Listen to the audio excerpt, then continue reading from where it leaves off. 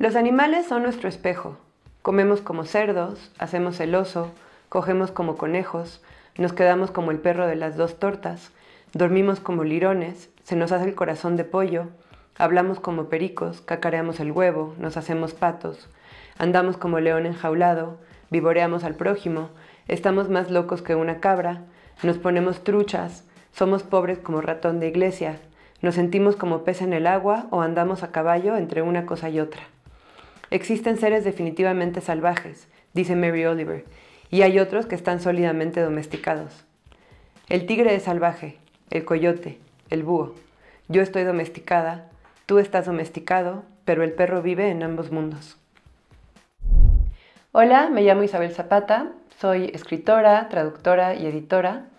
Soy autora de los libros Alberca Vacía, Una ballena es un país, In vitro y Las noches son así. Escribo por lo general poesía y ensayo, aunque ahora estoy trabajando en una novela.